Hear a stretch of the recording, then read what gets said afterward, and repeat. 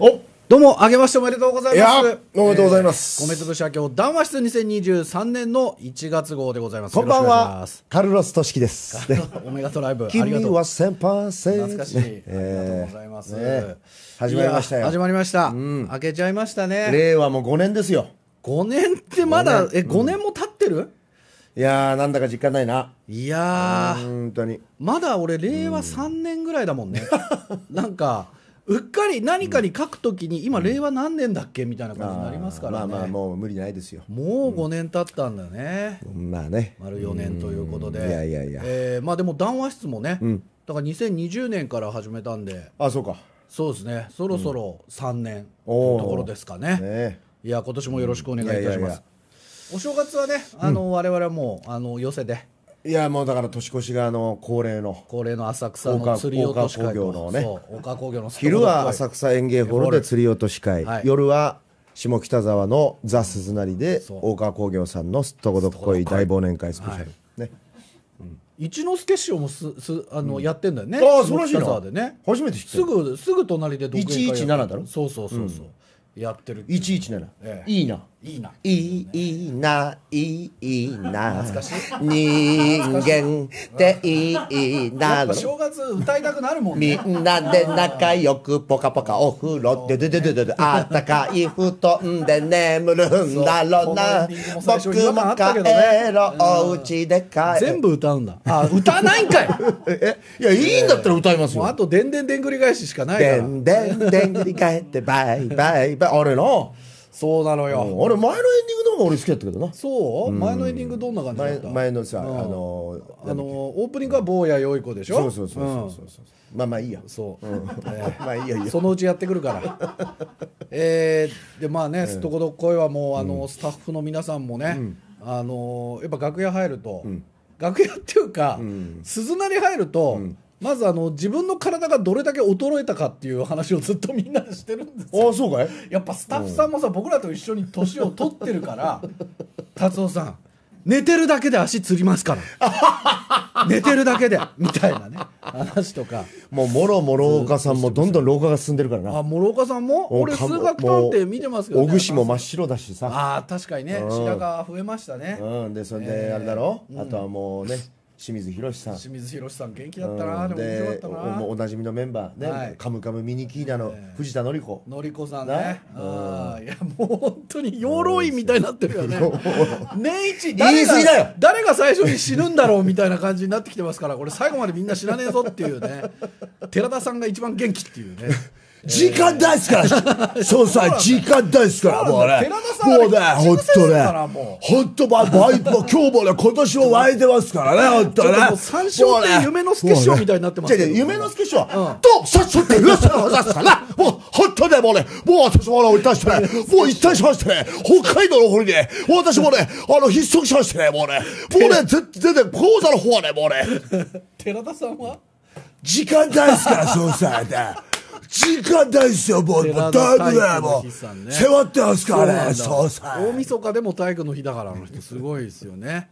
でお正月はまあ東洋館、えー。まあ、5日までね出まして、3日からね。えーその後はまあ上野鈴本も、まあ、昨日までやってましたけれねどもね。前座さんにやったお年玉やって配ってなありがとうございます、本当に今年もよろしくお願いいくっていうのがあって、おもうそいやその神社とか寺とか決まってんの？決まってます。もううちの近所です、もうそこまで行って、で春日さんの大体年末年始の文句を聞いて、まあ、基本的に3人でずっと移動してる時は春日さんが一人でずっと喋ってるんですけど、ずっと何？そそんなに愚痴ってんの？まあまあそうですね。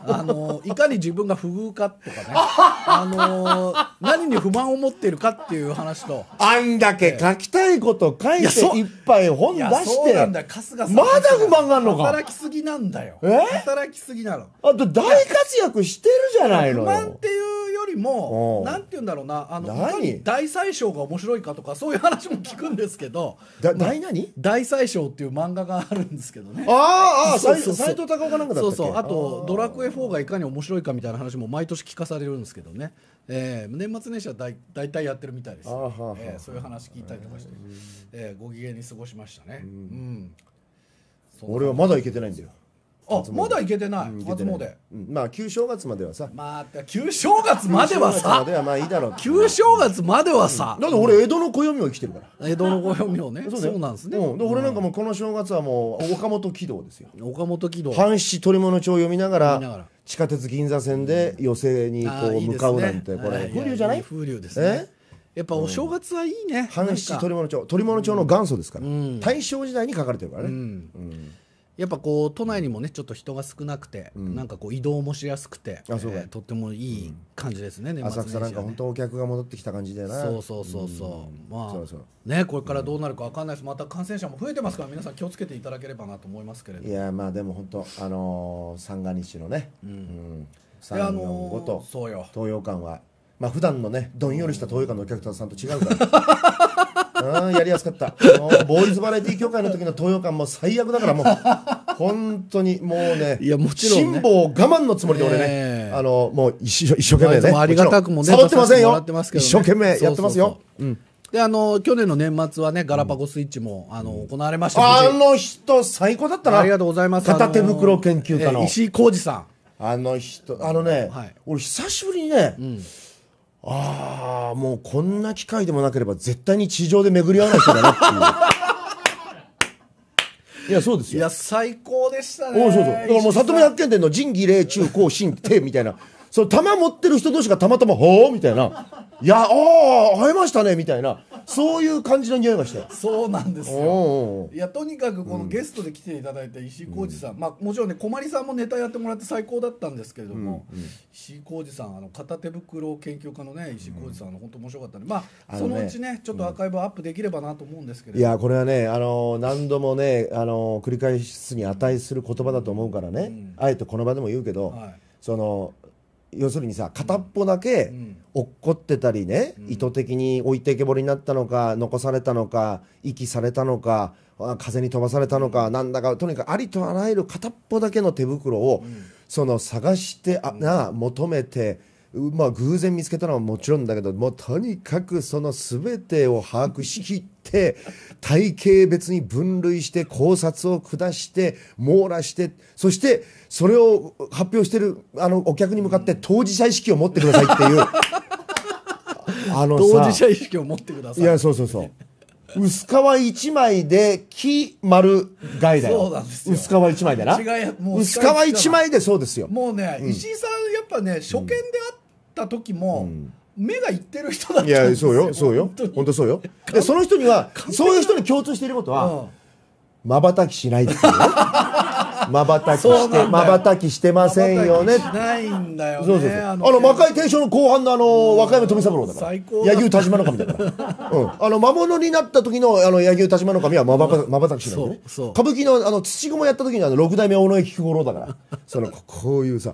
でもその彼のセリフでさ、よかったじゃない、つまりそのねなんでこんなものなんでこんなことに、その囚われてしまったのかと。で一生のねその自分のプライベートの時間はもうす仕事と別にしてことごとく捧げ尽くす気になってしまったのかっていうのをさ、まあ呪いこれは呪いですね。呪い。ですね、うん、呪いでもでもさ呪いなんだけど楽しい呪いなんだっていう言い方をしたじゃない石井さんさ。俺ねああのあのセリフ聞いた時ちょっとキュンとした。ちょっとジュンとした。そうだね。ちょっとジーンときたいやだから最初はさ何でも集め始めたりとかね、知り始めたりしたらめっちゃ楽しいんだけど、そのうちやっぱ全部っていうことに意味が出てくるからいやさもう苦しくなってくのよ、あのねこれ一言じゃ決してなくて、はい。我々芸人だってさ、はい、同じうん、楽しい呪いじゃないの？楽しい呪い。そうだよ。我々芸人もね？楽しい呪い。そうでしょ、だって何十年も売れなくてもさ、ん。ね、地上波のテレビだとかねなんかそん。ないろんな、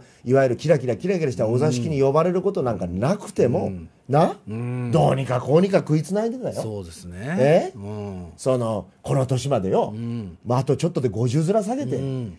な？俺はまあ勤めて帰らないようにしてるけど、おも世間様から見たら何やってんだって時があるだろう、押し寄せてくるだろう、でもさ多分やめないじゃない。いやそうなのよ。だからもう我々もお正月にね、あのペペ楽しいペペ桜井先生予選でさあのもう80を超えるギター漫談の芸人さんですよ大好きなんですよもうペペ先生。まああの寄せで省略される時は P って書かれる先生なんですけど。あのえすいませんこの P って何ですか？あペペ先生です。駐車場みたいな省略のされ方じゃねえかよ。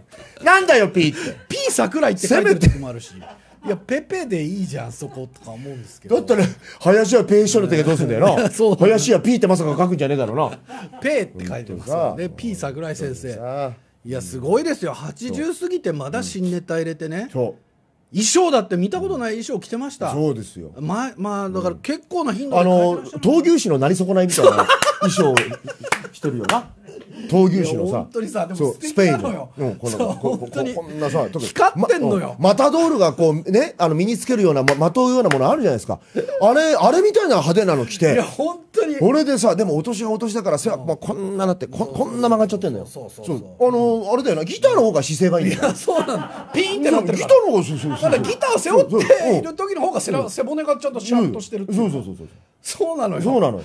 本当にどんどんうん。金色と青とピンクが入ったその闘牛士みたいな。そうそうまた似合うんだなあれが。そうだろ？先生。そうだろ？そんなしっかりされてる方がね、もうあの僕らもお正月一緒になってね、ちょうどであの帰るタイミングに、あのペペ先生がコートとカバンをそのまま忘れて帰るっていう事件ありました。まあいいじゃないの。そうなんだよ、まあいいじゃないの。そうなんだ、最高だったな、うんそうそうそう。そういうね。あのいやそうですよいやだから寒、最初ね寒くてなんかギターが弾けないのかなとか、まあ、自分で言ってたけど、なんか手がしびれてギターが弾けないとか言って。ね、いやでもそれでも老いと戦ってる先生すげえなっていのはいうや俺たちもこれから直面していくんだから。直面しますよ、ね、三浦淳さんいうところのうん。あの人間のねあのせ体肉体に訪れる真のオイルショックね、オイルショック。石油と関係ないオイルショック、ね、オイルショック。それをこれからもう戦っていかなきゃ、まあ、戦うっていうのかな。戦う必要ないか、まあ向向かい合うねそう,、うん、そうそうそう。そうですいやどうね、味に転換できるかってことですから。みんな一緒にね、そうですよ。こうもう一緒に年取っていくから平等に、そうそうそうそんなこと考えアンチエイジングとか言わないからね なんかさもう今男もなんかすごい美容に励むようになっちゃってな。ああ確かにね。すごいでしょ？なんかこう、ね。このほらあの涙袋のさこここを取るとかさここになんか貼ったりとかさでなんかクリーム塗ったりとかさ、うん、であのほら石器星とかこんなになっちゃってさ。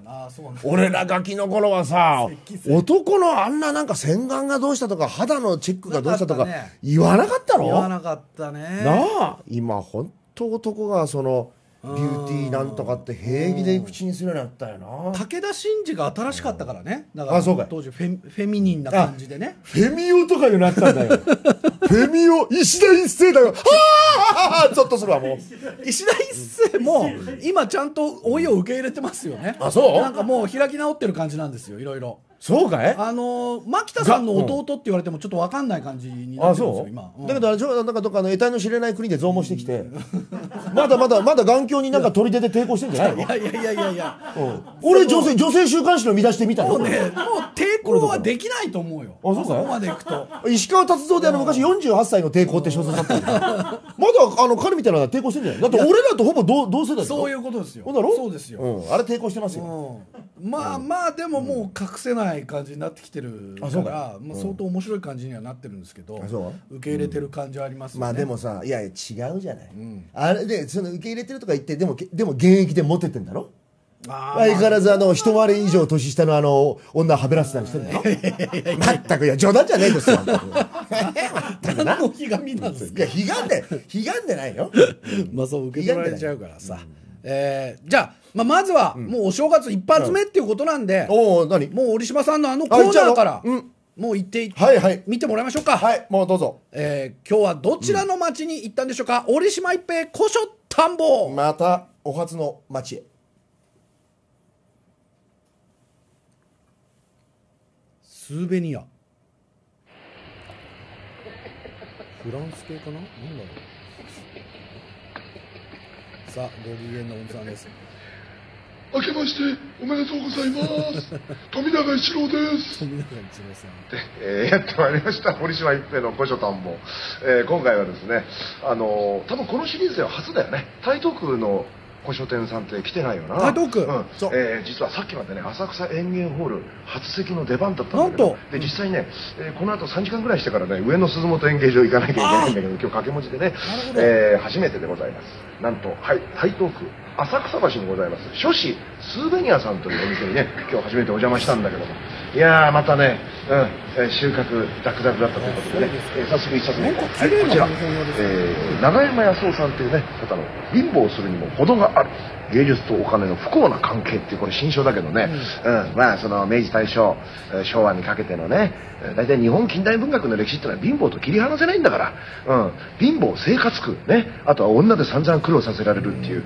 それのさ切っても切り離せないっていうことをねこの、えー広い視野で、えーこの考察したっていうあれですけど、まあ、芸人もそうですよね。俺たちだってさ、うん、まあでもねその今ほらなんかやたらとねあの賃金がどうだとかね給料がこの30年なんか下がり続けてるとかさなんかそのあなたの給料が何で安いのかとかそういうことばっかり言うじゃない。いやいやもちろん良くないことだろうけどね。それは高いに越したことはないだろうけどさ貧乏なら貧乏をさこうまあ、楽しむっていうとなんかお前はなんかちょっと今余裕ができたからそんなこと言えんだろうとかってそう言われたらそれは返すことはないけどさ俺だってもう20代の頃本当にひりつくぐらい金ない時にねどっかねどっかでそこをね逆手にとって楽しむみたいな発想あったぜ、うん、なんか不平不満不平不満を言うよりも進んで明かりを灯しましょうじゃないけどさ。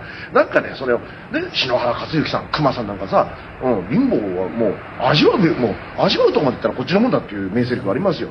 その場合の貧乏の B はあの V, v うだくてんでいきたいね。V, v ね。貧乏って言いたいねみたいな。そういうさ楽しみ方味わい方ってのあると思うんだけどね、うん、そういうあの話にねこうつながるヒントみたいなのが散りばめられてると思うんでね。これはね、えーはい。2冊目こちら、えー渡辺義輝さんという方ね。面白実験と科学史で知る物理の基本。力熱光電気流体がスラスラ分かる。たまにはこういう本もいいでしょうね。科学史ね。もう俺も50近くなんてさあのー熱力学第二法則とかさベルヌーイの定理とかさ、ね、ちゃんとあの若いやつに説明できるようにしときたいからね。ね。熱力学第二法則とかエントロピーとかさもうあの自前の日常的な語彙だボキャブラリーだみたいに喋ってますけどね。酒の席でこれ、ね、いやそれはエントロピーのとか言ってますけどね。ちゃんと教えられるのかって言ったらあや怪しいところあるからな。うんこういうのでね勉強し直してるねはい。えそれからねこ れお前がこれ買うかっていうあなたは古本がやめられるっていうねこれね。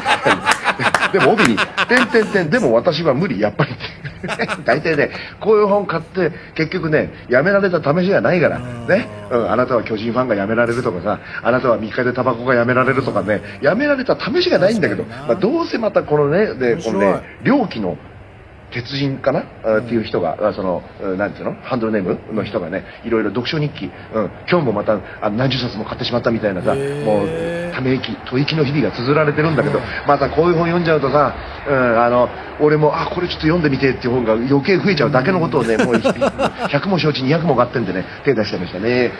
うん、でそれからね、えー伊藤博さんって方、これ全然知らなかったんだけどね、なりわいを作る。人生を盗まれない働き方。いいじゃない。このね、なりわいって言葉がいいね。なりわい。こういう日本語ね、あの、復活してね、こう、本当もっとこう、頻繁に、あのー日常のね、会話で当たり前のように使われるようにしたい。なりわい。まぐわいとかね。まぐわいはさ、いいじゃない。うん。だからね、その今ほら、あのね、さっきの貧乏の話に戻るんだけどね、少しでもその副収入とかさ、副業って、サブの方の副業の勧めとか言うじゃない。そうじゃなくてね、この伊藤さんって方が提唱されてるのは、複数の副ね。うん、単数複数の複数の副業。だからもう、うん。こんな顔も持ってるあんな顔も持ってる、予想もつかないあんな仕事もしてる、うん、でででどれもがねその人のそのおその世をすねなんか世をすねてそのさあの潜んで隠れてやってる人とかそういうことじゃないっていうのが面白いじゃない、うん、これねあのこの世にない、えー仕事を作る職業を作るまだ世にない職業を作るだったかな、えそういうあの河野義則さんっていう武術武道家の武術研究家の方があの提唱されてる発想とね相通ずるものを感じたんでねちょっと買っちゃいましたね、えーそれからねこちら鈴木正女さんってねご存知の方いるかな。この人俳人あの俳句読む方でね、えーお稲荷さんの路地っていうねえー富士見書房から出てる随筆集エッセイ集なんだけど鈴木正女さんという方はね波乱万丈の波乱万丈って言葉はもう手垢につきまみれすぎてねあんまりこう気安く使っちゃいけないんだけどね人様の人生のね、えー、そのねあの跡取り娘でねその向こう迎えて旅館の経営者だったかなんか料亭だったかなの人だったんだけどまあその道ならぬ恋に落ちてね、うん、その恋人の男性年下の男性とねまあその家を飛び出しちゃうわけだ。でその中国大陸をさすらったりへめぐったりねいろいろ。でその男性ともね最終的に別れちゃうんじゃなかったかな。まあこれはうろ覚えで申し訳ないけど。とにかくねでそんなこんなで無一文になった後に銀座にねあのうなみっていう小料理屋を出して亡くなるまでその経営小料理屋を営まれながらあのね時々ドキッとするようなねそのそのね鋭い針も、まあ、針は針ってことじゃないか、まあ、とにかくあのね、えー、俳句の数々を残されたあ、ねえー、方なんだけどねこの人の。これ渋いんだこの。ね。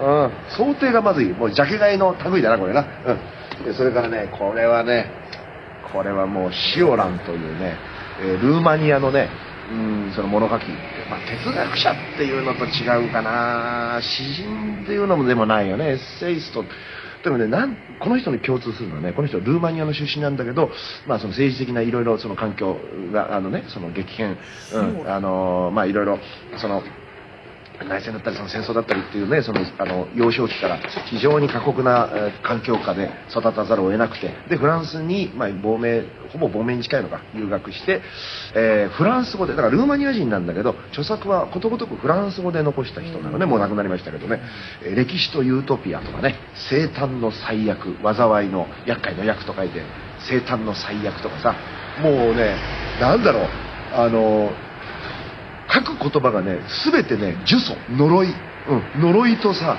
ため息。底なしの地獄から地獄のねあの釜のさあの蓋開けたらままたさらにその下にがあってそこ潜ってってわざわざ潜ってってそこでまたため息ついてそのため息ついたとさらに下行って吐息ついてるようなねそういうこと。もう、ね、人生に喜びとか楽しみとか希望とかねそんなものがもうその1ミリたりともあるわけがない、ね、この世にそのあること自体が もうあのただのただただ永遠の呪いなんだっていうさ、ね、だからもう人生って素晴らしい「ライフ・イズ・ビューティフル」みたいなものからねもう真逆も真逆地球何回何回転するぐらいものすごい距離離れてんだっていうような発想からその書かれてる、うん、じゃあそ,、ね、そんなに陰陰滅滅の10乗20乗100乗ぐらいされたような文章がおもそんなもん読んで面白いのか。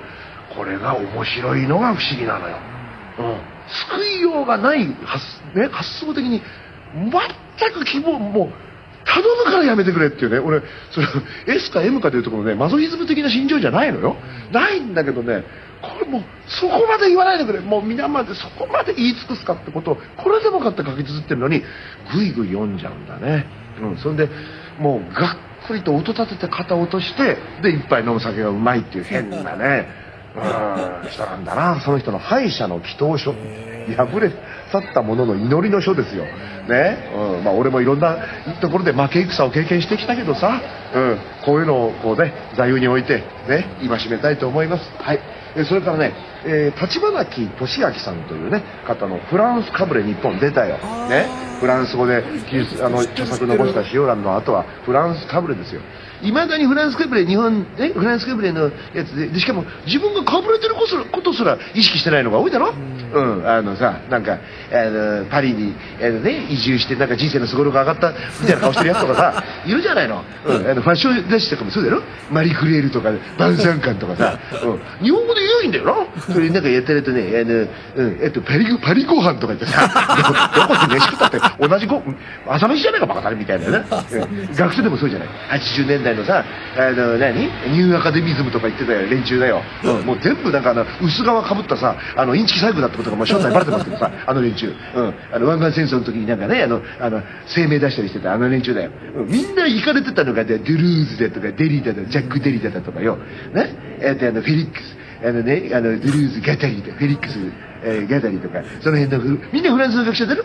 ミシェル・フーコーとかさ。それねなんかそういうフーコーがとか言ってたらねなんかねあのちょっとレベル高いこと言ってるように錯覚してるバカ学者とかいっぱいいましたよ大したこと言ってそれよく読んでみたらあんまり大したこと言ってないんだよっていうな、うん、それそれを長いスパンで幕末以来その19世紀ねえー芸術文化花開いて政治的にもものすごい力がみなぎってた頃のフランスがいかにその日本にその有形無形のね影響を与えてきたのか。であのフランスにかぶれる日本人もいるけれども日本へのほらあの美術史上でいうところのジャパニーズのあれがあったりして例えば、えーゴッホはまあフランス人じゃないけど、えー向こうの画壇でね日本に対するそのぼんやりとした憧れを抱いたそのね象形を抱いた人たちもいたっていうのをねこう比較対象して考察してるえー本なんだね、えーこの立花木俊明さんという方確かねあれ早稲田と慶応とかさあの日本におけるそのね、あの学閥の構造とかなんかそういうのも研究されてる人ではなかったかな。ご専門は確かね、え経済学の人なんだけどね、うん、これは面白そうなの買っちゃったね。当然長井寛風とかさ西園寺金持とかさそういう人も出てくる。あと数学者の岡清。あの人も若き日はフランスで学んだ人だからね、うん、っていうでまたフランスの経済学と英米系の経済学とどう違うのかっていう発想のその根本がどう異なるのかなんてことをねだからそのフランスかぶれ日本がいかにフランスねあのかぶれてきたかっていうねで俺ねこの間偉そうに言ってますけどね。俺だってねあの自自覚してなくて何かにかぶれてる可能性あるんだよ。ね。うん。なんかさあのちょっとほらあのね、あの、か漢詩、漢語を多くね、あの、つい言葉でででしてた、あの、語彙の中にさ、漢語とか漢詩のなんかね、語句を、ま、交えたらさ、いやいやなんか高級なこと言ってるようなとか、錯覚だからな、俺。平たく優しく何でも言い換えられるってことが基本だからね、これね。それぐらいまで自覚あるんですよ。ね。うん。人間誰しも何かに被れんだよね。うん。そして、最後の一冊です。これ。刷新藤原ノート藤原義明さんおお組長ですよ、へー藤原組長ね。ちょっと思い出がったらいいかな。出たこれが新規現象。もう何年前になるんだろうな。あの三浦マイルド氏とね、うん。あの対決ライブでね「のじ合い」っていう、うん、いいタイトルでしょ？あマイルドさん考えたんだけど。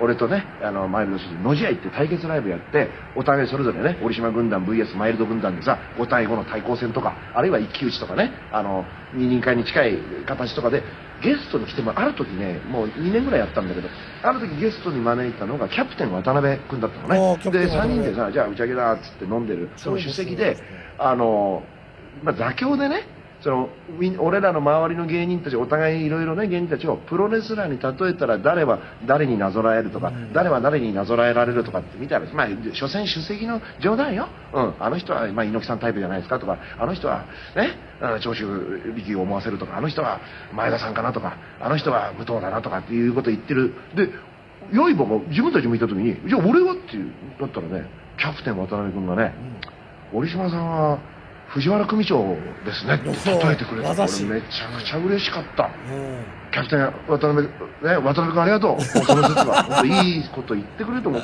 大好き藤原さん。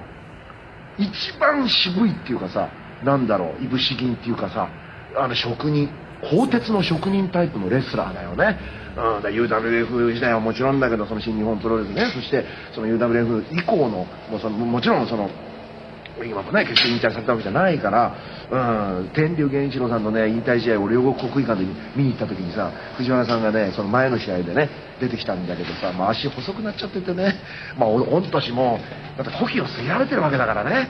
でね藤原さんの思い出って言えばさあのタモリクラブあるでしょ、あのタモリクラブで昔ね中村裕二さんあのほらパントマイムがさ、超絶技巧のねあの技の持ち主ああのねシティボーイズさんとのねあのユニット組んで今年は素晴らしい方だけど中村裕さんもすごい尊敬してるけどさあの人とあのねマイムでプロレスやったのよ。パントマイムで。完全にそのくあの空想プロレスみたいな。その時の藤原組長のねその試合さばきっぷりっていうのがね見事すぎたのね。こんなことができる人なんだって。うん、でねあまりにも多芸あまりにも多彩というのは藤原組長ってね手先がもう細かくあの器用な方でね。でその人ね。でこれこの藤原ノートっていうのはあの関節技のね。神様と言われた。ね。カール・ゴッチ。えアントニオ猪木ももちろん徹底的に学んだって言われるいろんな技伝授されたっていうカール・ゴッチともう鬼のようなスパーリング繰り返してさやってその最中で覚えた技の数々。ね。基本形がほら膝の使い方首を決める極める、ねえー三角締めのやり方と。このスリーパーホールドのこれ全部若き日に藤原さんが全部こうやってイラスト付きで、これはすごい。練習練習さもう猛稽古でこんななってさ体中痛くてしょうがない眠くてしょうがないのにその目をこすりながら若き日に必死にこうやってつけてたっていうもうさしびれるじゃない。そのノートをこういう形でね正式に単行本化したのがこの藤原ノートなんだね、うん、だからそのその昔の練習生たちが必死になってその藤原さんが何をどういうふうに学んだのかっていうのをこのノートで勉強したっていう。ちょっとあれじゃないの？あのーね、緒方洪庵の適塾で学んだ福沢諭吉たちみたいなさ。大げさか例えば。こういうのを練習しね。ぼっち教室。誰でも年は取る。いいセリフ。誰でも年は取る。しかし年寄りになる必要はない。もらったこのセリフ。ね。うん。フォーエバーヤングアットハートとは別の意味でね。でそのね昭和新日本プロレスイラストメーカー。これ全部全部ね坂口誠二荒橋。ね。藤波さんとか長州さんとか。全部これ藤原さんが書いてんだよ。でしかもねこの人。陶芸もやっててこの焼き物。見てくださいよこれ。これ全部。こゴジラ香炉とか。え？手先器用だなみんな本当に。さんが焼いてんの？ものすげえだろ。なんだあのゴジラ。腕前だよね。でしかも盆栽このまた盆栽も見てこれ。ね見事なもんですよね。うん。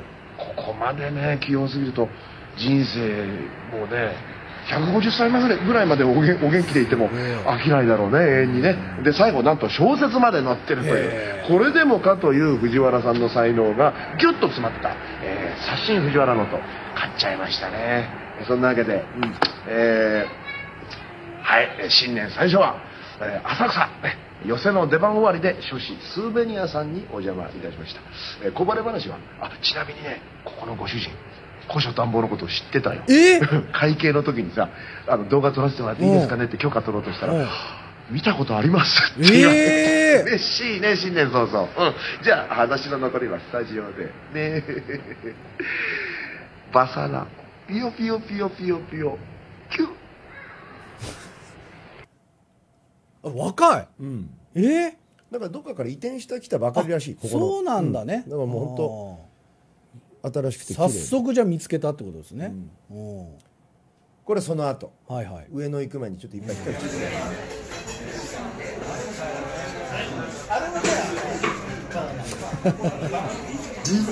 ということでね、えー、リード変えた今日もねあの実はねあのちょっと歌詞を変えてね浅草橋の駅からね、えーそのままあの電車一本だからお茶の水まで来ちゃいまして、うん、神保町のねビアホールランチまでね一杯やってます。ね。うん。この後2時間後には上野鈴本の出番だ。うん。ね。まったくうんいい仕事だなおい。いやいやいやいやいやいやいやなるほど、うん。今回都内で、そうそうそう。え台東区、いいですね。でもう住宅街の中にポツンとあんのよ。えー、すごいとこね。だってなんか、マンションの1階みたいなそうそうそれっぽかったでしょ、でねあのい静かな環境でうん。ゆっくり選ばせてもらってね。で移転してしたばっかりだから。そうそうそうそう。まあ、これからもっと本も増えるんでしょうね、いやだろうねいやすごいよく見つけましたね、うんあのまあまあ、まあ、噂はねかねがね聞いてたんだけど、はいはいはいはい。そうなんだよ、おうん。であの鈴木正女さん。正城さ思い出した。ん、うん、えっ、とね「薄物屋。人悲します恋をして」っていう句でねあーまた。知られる人なのよ。ちょっとちょっとちょっうん。根性の、えー今が幸せ絹担ぎ」とかね。そういうさあもうなんだろうあのね根性の今が幸せか、そう根性の今を生きると書いてね根性の今が幸せ絹担ぎとかね、うん。昔あのほら小沢昭一さんかあの小三治師匠かどどっちかの句でさ小沢昭一さんか。えー、と献立に煮こごりのあるママの過去だっけ？とかってなんかなんかそういう句があるんだけどそれをこう思い出しちゃってね。うん。そのいいっぱいいろんなものを背負ってきたその置いたさでもなんかこうおかみさんがこう台所でネギ刻んでうるんその後ろ姿がこうもうなんか立ち上ってこない90ね5歳とか6歳ぐらいまであの元気だった人なんで。でその人が小料理屋やりながら静かに俳句読んでたんだよね。うん。いいですね、うんっていうことでね。いや藤原ノートはすごいね、あれ驚きだろ。すごい、うん。なの売ってんだね。そうあれね56年前にえ3ぐらい前に出たのかな、うん、でそう。気にはなってたんだけどね、おうんまあ、たまたま見つけたから買ってね。いやいろんな、いろんなことできちゃう人なんだね。いやすごいものすごい。タモルカラムのそれ見たことないか？たいやーちょっと見たことないあのねあのいわゆるエアプロレスなのよ、うんエアプロレス。えリングの上でそのエアプロレスで,、でそのやっぱりパンツ一丁になったその中村裕二さんがこうやってさ、ほんでその裕二さんはこういろいろ仕掛けて、その組長のさなんかこう腹の中に内臓に手を入れて、ね、その胃胃から内臓から何からこう引っ張り出してみたいなんで内臓を引っ張り出された藤原組長があーなんつってこのもだえてみたりとかちゃんと付き合ってくれるんだよすごいわ。お笑いそのね、相方としてね。そうそう。こちゃんと受けてくれるわけそうなんだでふそう。で藤原さんは藤原さんで中村裕二さんにそのエアで技をかけるんだけど、それがもう全ちゃんとその真剣勝負のふざけなのよ、それが俺も感動してさ、いやーこうこういう人でなかったらやっぱりそりゃ無理だよなっていう。ね。そう。まああのープチ鹿島さんもね、こう断るごとにこう藤原組長のね、その仕事の人ぶりっていうのをあーそうそうそう。高く評価してます、そうそう。やっぱりこうね、うん、やっぱ寝技師とかさそうそう。仕事人っていうのはね。相手の良さを全部引き出すっていう、出た。ねそこのニックボックウィンクルいやまあまあだからニックボックウィンクル藤原だっつってんじゃない。肉いやいや。藤原だっいやつってんじゃん共共通項だあまあまあまあまあね。ね、相手がジルバを踊りたいと思えばジルバを踊り相手が、ね単語を踊りたければ俺も単語に付き合うぜって、確かそういうセリフをプロレス史上残した人だよね。ニック・ボック・ウィングルそうそうそう。で俺があれですよ。あのあのほら渋谷のさ、ユーロスペースでさ、うん。あの仕事の合間にさ3時間ポカンと空いたから、映画行こうとして、まあこれダウンスで前喋ったから、あのでたまたまねその時間帯にポあのピタッとはまる作品が全く触手伸びなかったけど、リップ・バン・ウィンクルの花あ嫁っていうあったあったあった。岩井俊二の映画だったんだよ。やってた。やってた。ね？うん。うん。アルファロメオ 4C が出てくる映画です。ね全然やっぱそこか。着眼点は車か。そうですね。車ですね。車映画ですね。あそうか、いや俺そういうの分かんない、予備知識全くないから、でももうもうクウィンクルだと思って。全然なかったなかったけど行ったら俺の前にチケット持ったうんあの80近いおじいさんが受付で揉めてて。ほんで受付のね女の子とさ「あのこのニック・ボック・ウィンクルのな花嫁って何時から見られるの?」っつって。う。んで言い返さなくていいのにさその受付の女の子が「はいリップ・バン・ウィンクルのリップ・バン・ウィンクルの花嫁花嫁ですね」っつって。別にお、いいじゃない相手がニック・ボック・ウィンクルって言ってんだったらさ黙って通過させてあげないよと思うんだけど。映画かと思われて困るそういやでもさ、うん、そうそうそうそう、うん。ずーっとそのやり取り3往復ぐらいしてたからね、うん。まあ、そんなまあ話でだ藤原藤原組長藤原組長。いいね。キャプテン渡辺にそう言われたんですね。言われたのよいやーまあまあど,、まあ、どうせ酒の席とはいえ嬉しかったし、あの藤原ファンの皆さん本当あのおこがましいのはもう100も承知ね、もうもう1000ももうもちろんもちろんもちろんそんなことなんか思ってもこれほどももう梅雨ほども思ってないけど例えまあ一瞬だけ例えてくれただけで嬉しいじゃないですか、ねとても足元にも及ばないけど。いいですね。うんそんなわけでね。年末年始はもうやっぱ本を読んで過ごしていたわけですね。そう半七取り物帳、まあ、さっきさっきの繰り返しになるけどさ。あのねなんかね無性に最近さ、古い日本語が懐かしくてね。古い日本古い日本語、あのこう明治とかさ明治大正の頃に書かれてる文章とかさ。あの辺、いいですね。あのね、うん、意外と新鮮な表現あったりするんですよね。人に勧められてさあのある SF のね、うん。長編をこれねぜひいいですよって言って、うん。で俺また例にほらあのーあのね日本で一番山口組の動向に詳しい「週刊実話」にまた あのいまだに書評を連載してるから、うんうんそこで使えるかなっていう下心もあってパッと開いたのページを、そしたらさ1行目か2行目もうのっけから「何々は何々何々でねイラッときた」って書いてあるわけ。なるほどなるほど。もうそこがもう引っかかっちゃうの。うん。その翻訳はどうなんだと。それがもう引っかかっちゃう、はいはいはいはい。うん。イラッときたってえ何って？いや今さその日常語みたいな、ね、ことにしれーっとなし崩しの状態でなってるけど、やっぱなんか俺やっぱり違和感あるあってさ。イラッとしたならまだいいけど、イラッときたね、イラッときたってさ。まあうん別の表現あるだろうっていう。まあいや登場人物はね、まあその完全に等身大わ我々のその要するに現代のもっと一世代二世代下の若者が主人公で会話の文でイラッときたイラッとっていうのが書かれてるのは分かるけど字の文なんだよそれが、もうそれでダメ、ね。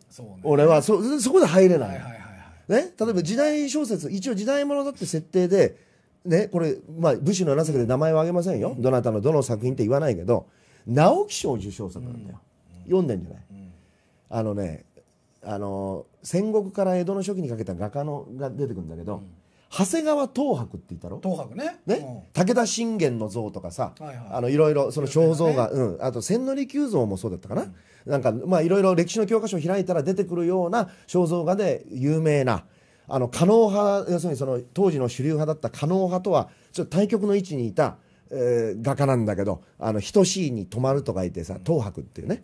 その長谷川東博がさ狩野派に対抗してあの別の一派を立ち上げたって書いてあるんだよ立ち上げるか。もうもうもうそれでもう俺ももうもうそこで そこではいシャッターがもうガラガラガラって閉まっちゃう 心情が、まあねうん、そういうさ言葉を時代小説の字の文章で使わないでくれよって。なるほど。うん、もう気分ぶち壊したから。雰囲気ぶち壊したから。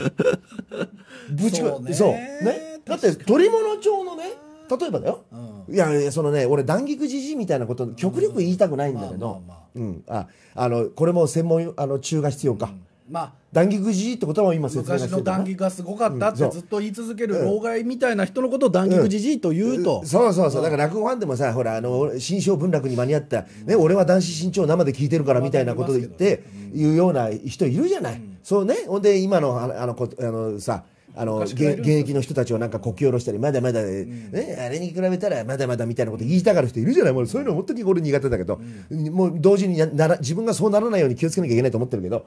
ね、そういう自覚はあるよ、あるけどさ鳥物帳読んでてさ、例えばよそのカタカナが入ってきたら興ざめするだろ思いっきり、まあまあまあまあアリバイとかさいやいやそそまさささすがにそこまでひどいものはないよ、まあないけど。それ許されるのは山田風太郎ぐらいだじゃないですいか。やいやそうよ、ね、エンタメ小説だから OK みたいな、うん。山田風太郎までうん突き抜けた,、たらいいよ、リアリティラインが全然違うから、そうそう。そのしの、ね、その忍者は5メートルもほども飛躍するとっていやいやこれいやメートルって。尺が5じゃないんだみたいなね、うんあったけどうんねあったけど、うそれはいいんだよ、ああ忍法帳だったらいいんだけど、そのさ江戸いややっぱり空気とか情緒とかさ、あのこ言葉でやっぱりこう味わおうってしてる時にその容疑者って言葉を使いここはまあね。下手人って書いてよとかさ、そうわかる。だからこれはね、決してまあそのだから老害みたいな感じの談義じじいとかではなく、あの言葉もねセットなの。その映画で言ったらセットだから、なんかその昔、1980年代の映画に iPhone とか見切れたらおかしいでいしょっていうそうなんだよ。ことなんですよね。そうそうそうそうこの時代にこれなかったはずなんだ、だからそれはもうあの映画の本棚見てても、あれ今広辞苑の7版入ってなかった？みたいなえ？2018年なんですけどみたいな思っちゃう。だからもう俺本当なるべく本棚映してほしくないんですけどその国語辞典への無理解が読んだ悲劇。いやとりあえず国語辞典置いてあるけどあれ。いやもうちょっと待って講談社国語辞典ここで入ってんのこれ。何年みたいな、まあ、それはね、まあ、ちょっとあるんです。いやいやだから前回やった「すずめの戸締まり」もそうなの。おう「すずめの戸締まり」のすずめの部屋に広辞苑置いてあるんですよ、明らかに2018年の第7版なんですよ、ね いやこれおかしい。ここ入ってる？これ。みたいな。そういうのとかをちょっとこう感じちゃいましたね。いやあのねあのでも決してね、あの変な皮肉な意味で言うんじゃないけど、そういうのを大事にしないいやまあまあセしないとだから言葉もね。そうだから時代交渉っていうのは全部ぶち壊しになっちゃうから。そうそうそう。全部ぶち壊しになっちゃう。その二次二次看護も、その明治に入ってから基本的には入ってきてるから、ああはあはあその例えば、まあ、古典落語だと明治期のものも多いんだけど、明らかに江戸の時に二時間後持ってきちゃうとちょっとぶち壊しとかって言ってる人はいるんだけど、いやでもやっぱ二時間後ってそんなになんかみんな意識してないのかなっていうのはなんかと感じるところではあるんですけど、ね。ああそうね。うん。だから木材、日本家屋のところにいきなりプラスチック入ってるみたいなことだから、ああそうそうそうそう。そうそうそうそう。そうおおってなって、そこに引っかかっちゃうのがもったいないとそ思っちゃうんですよね。そうそうそう。違和感ね。うん。そうそうそう。そういうねでねそれはもうしでねそれもう全部結局ありの一決だから、そこがね引っかかるとねどうしてもうんあれっていうさあれなんだかなっていういやわかる。だそれからね。がね積み重なっていっちゃうとね全く入っていけないのよ。なんかさ折島さん年末年始になると見たくなる映画とかある、なんかね、俺やっぱ年末年始になんかいろいろ見たくなる映画あるんですけど、ああそうかい。去年はね、あの桜の園を見たくなったのね。おおそう。桜の園えどっちの桜の園？いやもうもちろんあの古い方です。中原俊監督？あのそれはこれからちょっとお話しする、うん。その映画談話室に関わってくるんですけど、おうおういいじゃないいいじゃない。予告編的にいいじゃない、あのーそうそう、うん。あの主演の女の子が、うんうん。まあ、今日取り上げる映画に出てたんですよ、おうおうおうあの稽古にね。中島ひろ子。そういうことです。思い出した。ちょっと喋ろう。ちょっとちょっとさ 松崎さん見える前にちょっとそその話ぐらいしてもいいじゃん。中島ひろ子ってえ、うん今こんななんだと思って、ううんうん。わ俺あの頃の中島ひろ子俺俺さそれもう,、ま、もう全力で乗っかるけど白島康代出てたのえ出てた出てた白島康代がよかったんだよ桜の園は。そうなのよ。な？最高だった。あのこうタッパがあってさ。そうそうそうそう。ほんであのあれだよな。た要するにあの宝塚でいうと男役みたいな役ばっかりをそのやらされてしまう演劇部の女の子なんだよな関係のね中島ひろ子と白島康夫と、うんうんうん。あの積み木美穂。積み木美穂。積み木美穂。もよかった。うん。で俺あん時、やっぱ昔見てた時は、うんうん。積み木美穂はかわいそうな子だと思ってたんだけど、うんうんうん。やっぱ中島ひろ子目線で見てたと思うんですよね、今見たらもう積み木美穂主役じゃんこれ。積み木美穂最高じゃんと思って。いやもうちょもうもう一回見ようもう一回見ようみたいになったああのねあこれちょっとちょっと視聴者の方のためにはいはいはい。最小限の説明だけしとこうよ。ごめんごめんごめん。なうんこれ女子校が舞台なんですよ、はいはい。女子校が舞台で、はい。そんであの年に1回の卒業公演かなんかだよな毎年チェーホフの桜の園を上演すると、という。で、ん。そのそこの上演する演劇部でこうねあのキャッキャキャッキャしてる女の子たちがまあ中心に据えられるんだけれでどもその上映当日の朝8時から映画が始まるんですよ。ああそうそう。で、うん。本番までの時間を映画で表現して、まあ本当にもう素人臭いもう本当リアルな女子高生たちで繰り広げる会話劇みたいな感じで、俺あの時のさあの、その子たちがさ、屋上かなんかでほらか体をこなすレッスンしてあれあれのあれのあのリズムとか俺頭の中覚えてるの？ one two three four five six seven eight そうそうそう。そうだろ？折島さんよく覚えてる覚えてるだろ俺俺。セブンエイトっての。あれあれそうそう横になってね。あれ覚えてんだよそうなんだあれがなんか耳の奥にいいんだよ残っちゃってあれ。がいいさで俺ねじゃあじゃまだ言おうか。で中島ひろ子がさ、また2人で体操してんの積み木美穂がぼーっと見てんだよ、屋上で。あれだからあの BL の反対の方ユリです。あああれがユリか。パーフェクトユリあれがユリかいパーフェクトですああそうかいそうかい。いやもうほん、ああ俺こっからなのかなみたいなふうにちょっと思ってね。あのね、俺がね、初見で見た時にね、はい。俺16かぐらいで、まあそんくらいですよね。そう高一ぐらいで見たの。1990何、うん90年ぐらい90そうそうだよな、そう。であの頃ほらアルゴプロジェクトっていうのがあって。アルゴプロジェクトあアりました。ルゴプロジェクトの作品だったそうなの。でそのそう90いやもう折島さんよく言ってくれた。遅れてきた ATG みたいなもんだよ。そういうことそういうことだよな、うん、アートシアターギルドね。で低予算で作るんだよ。その、桜の園見たいなって思った時に、どのその動画配信サービスにも入ってなくて、ソフト買っときなさいよ DVD っていうことなんですよ。ね、であじゃあ買おうと思った時にうん。デジタルリマスター版っていうのとそのプロジェクト版の DVD があるんです。よアルゴプロジェクト版の DVD があるの。えそんな露骨に違うの？そう。で、これもうどうするかっつったら両方買うしかないわけじゃん、ああ好き好き者にはな。両方買いました。ああそこまで入れ込んでるな。ら無理もないぞ。アルゴプロジェクト版を見ると、うん。昔見た感じのあの感じなんですけど 俺ねこれねデジタルリマスターのこうもう鋼材の材の部分だと思うんですけどあそう？桜の園をデジタルリマスター版で見たら、うん。そのすげえ映像がクリアな分、うん。ちょっとチャチく見えんのね。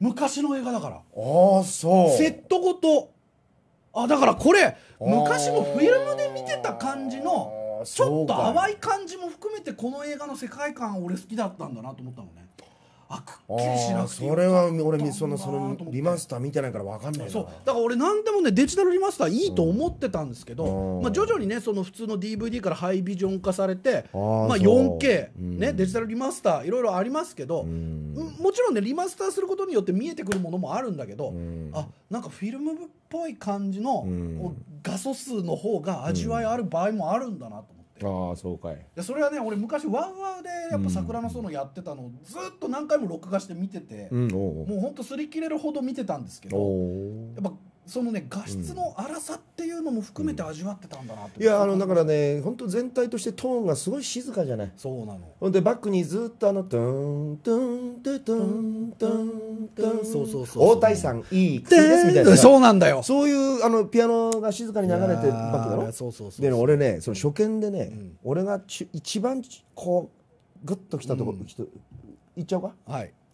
南原浩二ですよ。あ南原浩二さんっていうね、俳優さんがいるんですよ。この人ね東大出身でね、あの日活でね桜が綺麗なんだ。悪役ばっかりやってた人なの、でもとにかくいやもう男前でね、シュッとしてんだけど、でもねあのややなんていうのかなちょっとこうバタ臭い風貌というかね、うん。そのベビーフェイスの役は全くない。もう常にヒールでそのだからそのギャングのボスとか、あるいはそのねなんかこの麻薬組織のなんとかとか、ね、それからね鈴木清純が日活クビになった「殺しの楽園」という作品ではね。その、ま、幻の誰もその姿を見たことがないって言われる殺し屋の世界でランキングナンバーワンの,、あのドンみたいなやつ役とかそういう不気味な役とかばっかりやってた人やらされてた人なんでその人が桜の園の時だけはいい先生なんもうめちゃくちゃ穏やかなさかいいのあの年輪を重ねたあの老先生だろ、満開の桜の下でなその演劇部の先生と二人で会そうそうそうそうそう。であれ？そこでなぜ毎年創立記念日に桜の園をやるかっていう話をずーっ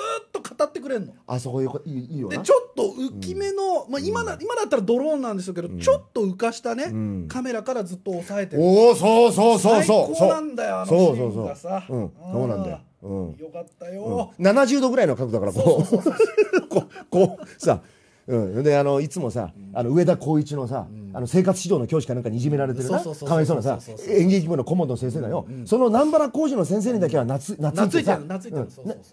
うん。そうそうそうそう。あの二人でさこうしみじみこう木のさ桜の木の下をってあそうあそこが俺な。